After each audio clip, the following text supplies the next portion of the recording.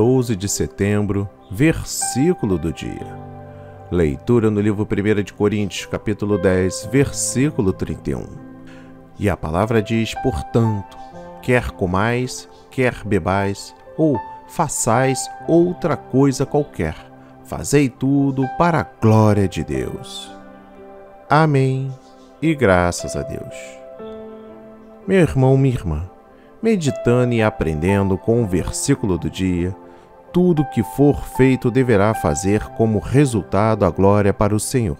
A questão não é o alimento em si, mas o testemunho cristão que impede que alguém seja escandalizado. Paulo cita várias vezes a palavra consciência e declara: não a tua propriamente, mas a do outro. Teremos glória ao nome do Senhor também quando vislumbramos a unidade do corpo de Cristo. Sede meus imitadores. Paulo não oculta sua vida cristã. Ele segue a Cristo e deseja que os cristãos façam o mesmo. Se não souberem como devem viver, que olhem para Ele. Em missão, a Igreja do Senhor deve ter essa qualidade ser exemplo de fidelidade. Em tudo o que fizemos, devemos nos perguntar: o interesse dos outros está sendo aqui defendido? O peso de ser causa de tropeço é enorme. Ninguém, em sã consciência cristã, deverá cooperar para que alguém se torne pior em sua fé e em sua vida com Cristo. Os missionários devem ser exemplos a todos a quem ministram. Não se pode ensinar sem viver o que se ensina.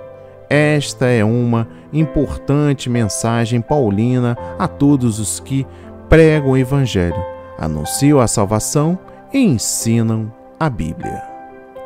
Meditando ainda mais, dentro do versículo do dia, fazei tudo para a glória de Deus. O objetivo principal da vida do crente é agradar a Deus e promover a sua glória.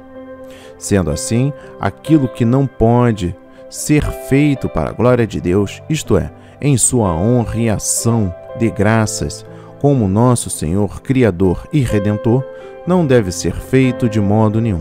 Honramos a Deus mediante nossa obediência, ações de graça, confiança, oração fé e lealdade a Ele, viver para a glória de Deus, deve ser uma norma fundamental em nossa vida, o alvo da nossa conduta e teste das nossas ações.